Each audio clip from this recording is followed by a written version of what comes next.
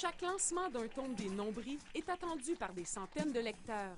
Et c'est encore une fois le cas pour le sixième album. Euh, on est vraiment content de, de- de- de ressentir euh, ce- cette belle vague d'amour que vous nous offrez en, en étant tous là. À la librairie Monet à Montréal, les adolescents étaient fébriles. Enfin, un été trop mortel était sur les rayons. La série de Marise Dubuc et de Marc de La Fontaine est le plus grand succès de la bande dessinée québécoise. Plus d'un million cinq cent mille exemplaires ont été vendus dans le monde. Des adaptations cinématographiques et théâtrales devraient voir le jour prochainement.